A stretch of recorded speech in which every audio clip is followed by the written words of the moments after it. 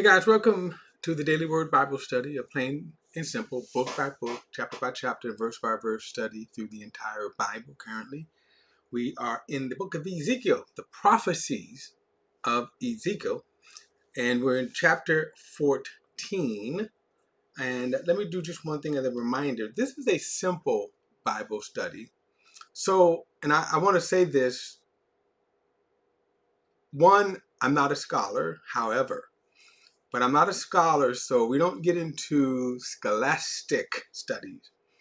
Now, there are plenty of resources for you to do that. Uh, sometimes it could be as simple as having a, a study Bible. Up there, as you can see, I have several. I have several Greek, Hebrew study Bibles and stuff. And the conclusion of all of my studies, which again, it's not scholastic. I'm not I don't have any accreditation. I don't have any degrees, seminary degrees. Um, um, but after reading all of that, when in my younger days, like a lot of people, I was hyped and, and geeked over studying, and I'm not even despairing that because I, I, I do love it. I, I'm not despairing that at all. As I said, up there, I have uh, a minimal arsenal, and if I needed to, I know where to go. By the way, you could, you know, you, you can get these things online. Uh, our world today, um, I know sometimes when you look at scholars and you look at different other people, they have shelves of books. Excuse me. So that's just a, a pinch, a crumb, sometimes to the arsenal of the people. The difference is that uh, you can get a lot of this stuff online. Okay, so that's the great news about living in our time. A simple Google can open up to a lot of these resources. So again, I'm not disparaging. My purpose that after all of the study, whether it's Greek, Hebrew, you go to all of that, the plain, simple reading of Scripture is the plain, simple reading of Scripture, and that's what we're doing. And that's why you never see me quote anyone, refer to anyone, uh, because you could read the Bible. And if you read the Bible, you will understand its plain, simple meaning. So we do not have the sunglasses or the glasses of any kind of ideology, theology, denominational, just a plain, simple reading of the scripture. All right, so let's get into it. Ezekiel chapter 14. Keep this in mind. Ezekiel is um, a contemporary of Jeremiah and Daniel. Jeremiah is was left in Jerusalem, and Daniel was in another part of the kingdom, Babylonian kingdom, and, and of course rising up in the governmental government. Um, Ezekiel is in the Jewish section of the captivity. In other words, when they they were captured, they were deported, and then they the Babylonians settled them into um, their section. Much like if you remember remember uh, when Jacob went down to Egypt, um, Joseph settled them into Goshen, which at the time wasn't a ghetto it was one of the best part of the. It was the one. It was the best part of the land, um, and then that's where they settled. Well, in the sense of the captivity here, so uh, the Babylonians didn't care too much what God you worship. Uh, as long as you worship their gods, they didn't care. Um, they didn't care um, if you um, worshiped your own God. So this is what they're doing. They're kind of allowing them to still exist with their culture, but they were conquered by Babylon. Okay. Uh let's see here. Um hmm. All right, here we go. Let me, my computer's been running slow as well. So okay. So verse 14 says, Some of the elders of Israel came to me and sat down in front of me. So remember, they, they, they still kind of exist as a community. He says, Then the word of the Lord came to me, Son of man, these men have set up idols in their hearts, and have put sinful stumbling blocks before their faces. Should I be consulted by them at all? Now, this is kind of harsh, right? But reality. Notice here, God is saying, they have set up idols, and notice it in their hearts. So here is the harsh reality God knows our hearts, God knows our minds. You can't hide from it. And it's a frightening thing, but for us in the New Testament, the word propitiation, that Jesus is our peace, Jesus is the satisfaction. Okay, with that, amen. Hold on, I'm gonna come out here.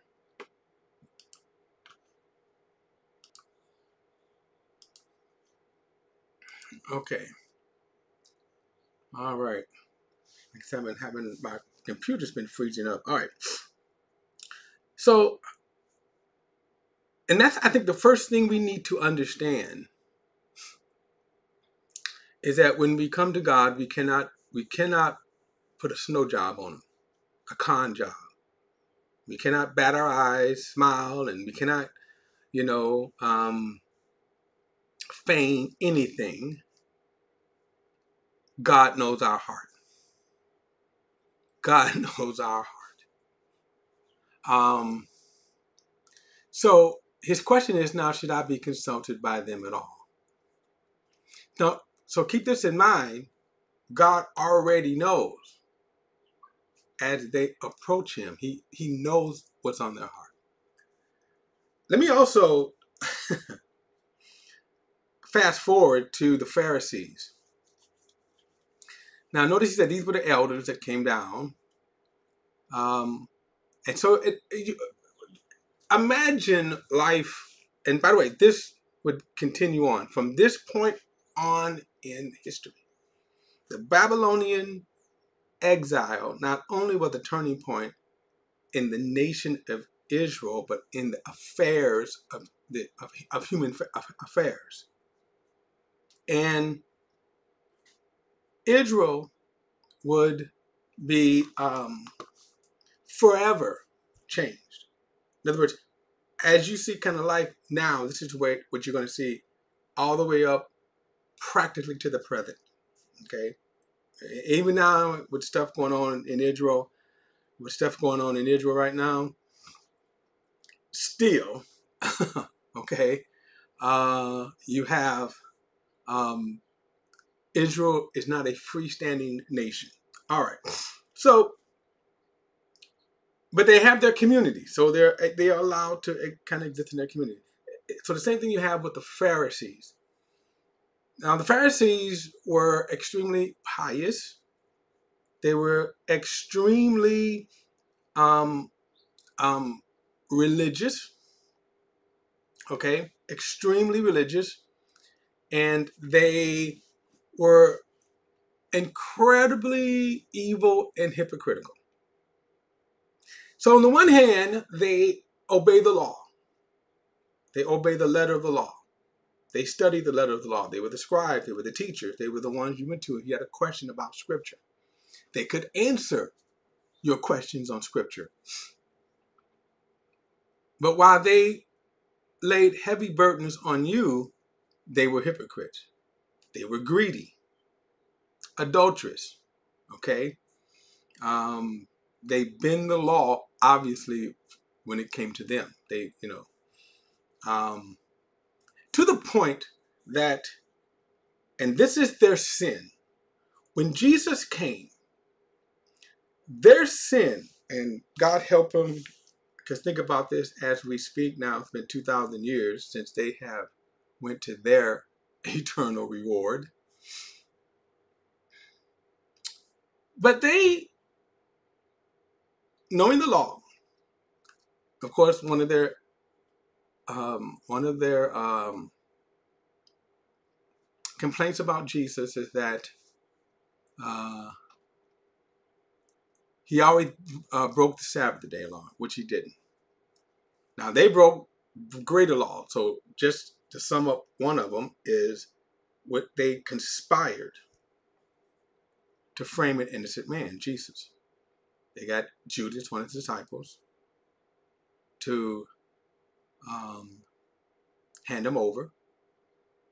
So they lied on an innocent man. They weaponized the law against an innocent man. So so that violated any in any worse way than what they were accusing Jesus, which Jesus never violated the law. But uh, and then when Judas came and told them, he said, "Our we have betrayed innocent man, blood." Basically, they told him that's your problem.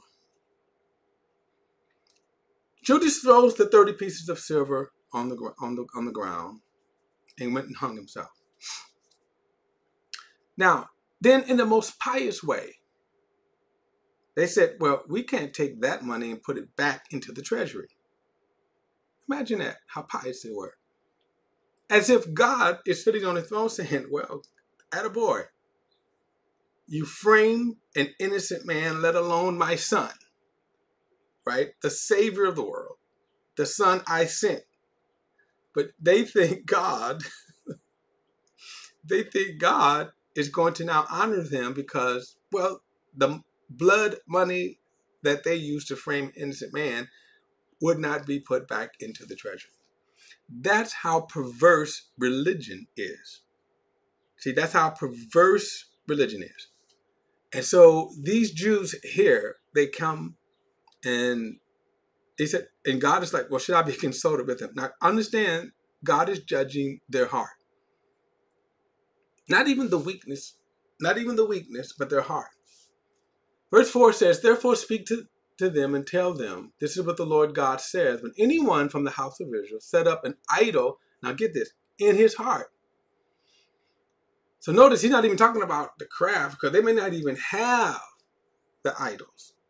They may not have. They remember they're uh, they are exiled. So who knows if they even had time to set up idol worship. Now, if you go back in the Old Testament, I mean, not the Old Testament, back before the exile, the high places that you constantly read, right? The, the high places, and these were the these places where these pagan worships were. They haven't they, they haven't even probably set that up. So notice what he's telling them. This is still in their heart. So he says, this is what the Lord God says when anyone of the house of Israel sets up an idol in his heart, puts a sinful stumbling block before his face, and then comes to the prophet, I, Yahweh, will answer him appropriately. I will answer him according to his many idols, so that I may take hold of the house of Israel by their heart. They are all estranged from me because of their idols. So this is what God says to the house of Israel right now, even though and, and, and their failure to even repent. Because now they have their idols. They've come to Ezekiel and says, What is the word of the Lord? Um verse 6. Therefore say to the house of Israel, what the Lord God says, repent and turn away from your idols. Turn your faces from all of your detestable things. And when anyone from the house of Israel or from the foreigners who reside in Israel separates himself from me, setting up idols in his heart and putting a sinful, a sinful stumbling block before his face, and then comes to the prophet to inquire of me, I, Yahweh, will answer him myself. Now, Notice he refers to the foreigners who reside in Israel. Um, Israel was not just exclusively the descendants of, of, of, of Jacob. And if you even go back and remember when they left, in uh, when they uh, left Egypt, there was they came out and it was referred to as a mixed multitude. And then the law made provisions for those who we would call it today proselyte to Judaism. But they and they were under the same blessings and curse as the Israelites. And that's what he's reiterating here. Verse 8 says, I will turn against that one and make him a sign in a proverb, I will cut him off from among my people. Then you will know that I am Yahweh. Verse 9 But if the prophet is deceived and speak a message, it was I, Yahweh, who deceived that prophet. I will stretch out my hand against him and destroy him from among the people of Israel, and they will bear the punishment, uh, the punishment of the one whose iniquities will be the same as that of the prophet, in order that the house of Israel may longer stray from me, follow, uh, follow me. I'm sorry, let me in verse 7 again. In order that the house of Israel may no longer stray from me, following, follow, oh, sorry guys. Verse 11 again. In order that the house of Israel may no longer stray from following me and no longer defile themselves with all of the tra their transgressions. Then they will be my people and I will be their God. And this is the declaration of the Lord. Now, um, sometimes we, I think we need to kind of understand some language. And that is, uh, go back to verse 9. But if the prophet is deceived and speaks a message, it was I, Yahweh, who deceived that prophet. Now, it almost makes it, when you see kind of language like this, it, it almost seems as though God was purposely deceiving the prophet, that he deceived the prophet. So here we get into kind of a language, right? In other words, you, if you read this without kind of understanding the language, how people speak, then you would think that God is the one who sets the prophet up or programs the prophet to deceive the people and then turn around and judge the prophet. And that's not what, in a sense, is going on. Um, but it'd be like if we say, you know, you took my watch. Yeah, right. I took your watch. You, you, in other words, it sounds like I'm admitting to it, right? But I'm not. I'm actually contradicting what you're saying. All right, verse 12. It says, For the word of the Lord came to me, Son of man, if the land sins against me by acting faithless, faith, faithlessly, and I stretch out my hand against it to cut off its supply of bread, to send famine through it throughout, and to. Oh, okay, I left my thing here. Oh, where you go? All right. Oh. So then he says, So if the Son of Man sins against me by acting faithfully, and I stretch out my hand against it to cut off its supply of bread, to send famine through it, and to wipe out both man and animal from it. Even if these three men, Noah, Daniel, and Job, were in it to deliver only, uh, they would only deliver themselves by their transgressions. This is the declaration of the Lord. Stop. So I definitely have to um, this is an astounding verse here. Um, let's go back because I'm I'm a, I'm going to go back because a couple of things I want to address here. Um, so I'm going to come back to this obviously in the next video because this is an astounding verse. But uh, he goes on and he says, uh, but he says again to the to the the fact that the prophet speaks against the people. Notice he says um, the idea that he judges the people. Notice that they will bear their punishment, and then the punishment of the one who require uh, the punishment of the one who requires to be the same as that of the prophet. So the question here, again, I just want to leave with this thought, and then I'm going to definitely come back to the, that that that last the one of the last statements here. But he says both people will always be held accountable for their sin. Okay, so and we're going to kind of keep seeing this throughout Ezekiel's message. Okay, so the prophets are going to be judged. And I think one of the best ways of looking at this is that when you see, when he's saying that the prophet is deceiving the people, more of the fact that God allows the prophet. That, you know, in other words, he, he, lets, he lets them kind of run on their way and into their own destruction. All right.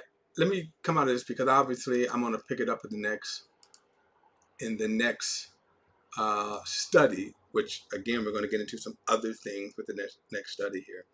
But all right, guys, look, don't forget to like and share this video and subscribe to BP the Bible Perspective. And as always, if you have a thought or comment, add it to the comments section below. All comments are welcome, and I'll see you in the next study.